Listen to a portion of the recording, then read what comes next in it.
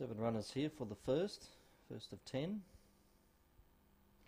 Favourite is Belsin from box four at 310, Gnarly Marley at 350 from box number three. Seven runners here for the first. Set, away. A Percy move on the inside, fast out. Gnarly Marley shows speed. Belsin goes forward. Then a Percy move third. Next in the field there was Power, so a long way back there was Bright Bree. Next in the field, Romy and Acid Bomb.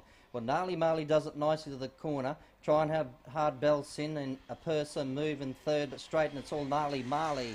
Gnarly Marley beats Belsin. Uh, a Pervsy move third, just in front of Power, so rushed home from Bright the Bree. Further back, Romy and lastly an Acid Bomb. 22 and 20. Gnarly Marley, $3 and 150. Belsin, 220. E Percy move at uh, there was a photo in between a Percy move and Power Cell.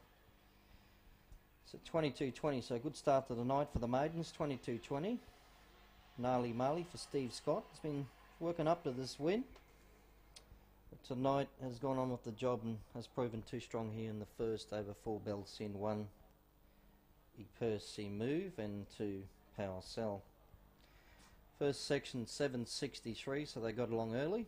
22.20 the overall time, 14.57 was the run home.